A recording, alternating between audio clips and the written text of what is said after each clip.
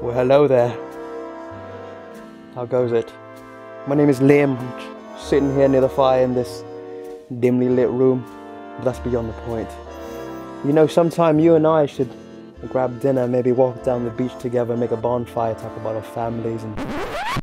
Bloody lights! Tired of dim, inefficient lights that are ruining your dating game? It's time to make the switch. What makes LED bulbs so superior to older light bulbs is their energy efficiency. 95% of the energy from an LED bulb gets converted into light and just 5% converts into heat.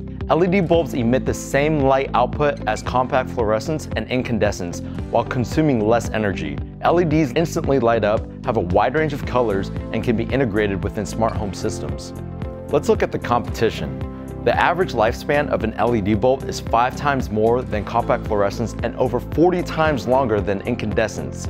Incandescent bulbs can use around six times as much as LED bulbs.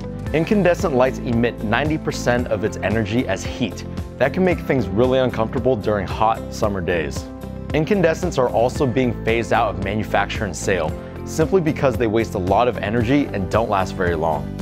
Compact fluorescent bulbs are better than incandescent in terms of energy use and lifespan, but the biggest drawback is that it takes a few minutes for them to warm up and reach full brightness.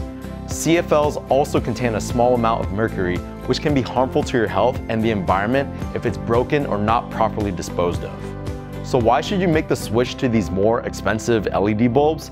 Think of it as an investment that you're paying up front. With less energy consumption and a much longer lifespan, your LED bulbs will be saving you hundreds of dollars annually. The average home has about 45 light bulbs. Replacing them with LED ones for $3 per bulb, you'd be making an investment of $135.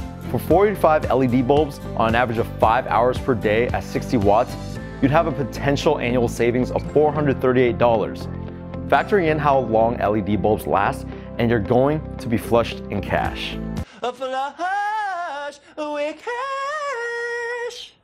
If you really want to see how much money you'll save, follow this link. Changing all the bulbs in your home can take about 30 to 60 minutes.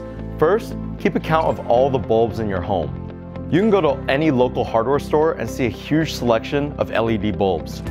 Amazon also sells them for about 2 to $3 in a variety of packs. If you like the warmer color of incandescent bulbs, go with the warm or soft white LED bulbs. If you prefer a much cooler color that's good for reading, go with the natural or daylight LED bulbs. Use a ladder for high reaching places. To be safe, make sure you have another person in the home in case of an accident. Bulbs can get really hot to touch. Replace the bulbs during the daytime so that you can turn off the lights.